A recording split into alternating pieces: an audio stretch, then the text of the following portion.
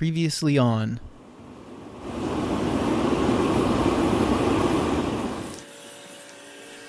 And I promised that I would clean up the casting, cut off the sprue, and I bought a surface plate.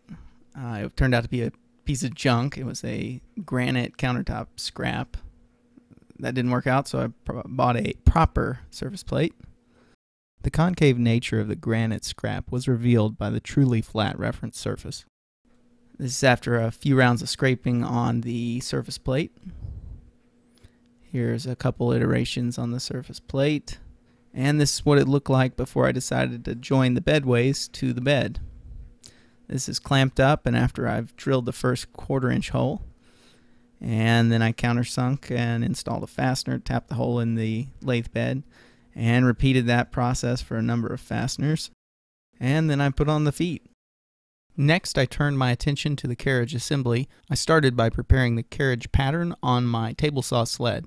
Here you can see the finished carriage pattern. I used wood filler to form the fillets. Then came casting the part. I heated up the foundry, prepared the mold, and poured the aluminum. Here is the pattern with the casting. I used a hacksaw, rasp, coarse file, and a scraper to get the castings cleaned up.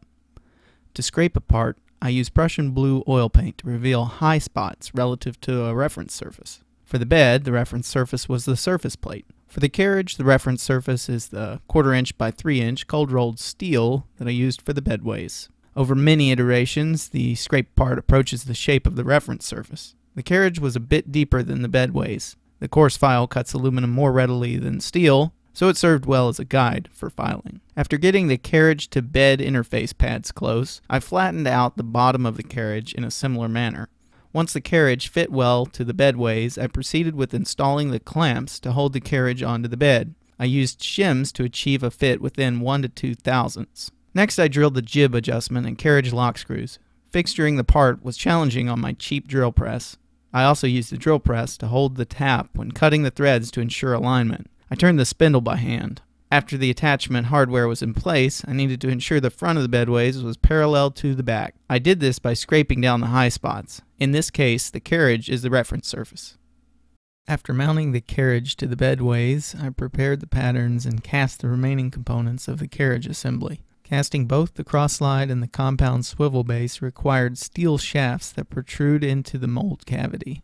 Leftmost is the compound swivel base, the compound slide is in the center, and the cross slide is to the right. The cross slide ways are mounted to the carriage with a single fastener. Using the fastener as a pivot, the cross slide ways are adjusted to be perpendicular to the bedways. They are clamped, drilled, and tapped. The cross slide is mounted to the cross slide ways, similarly to the carriage and bedways. The steel rod cast into the cross slide was driven out. The empty hole facilitates attachment of the compound swivel base. The steel rod cast into the compound remains and serves as the pivot for rotation. The compound swivel base is cleaned up and scraped similarly to the carriage.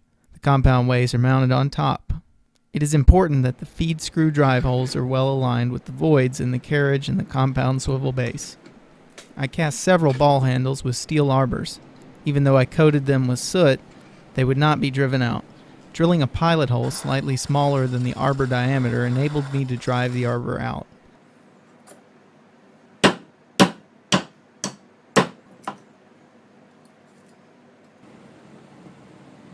The fit was still tight, so I used a quarter inch drill bit to open it up.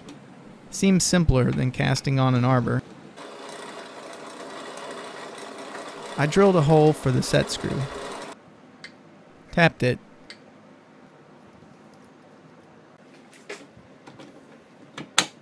and mounted it on the drive screw shaft.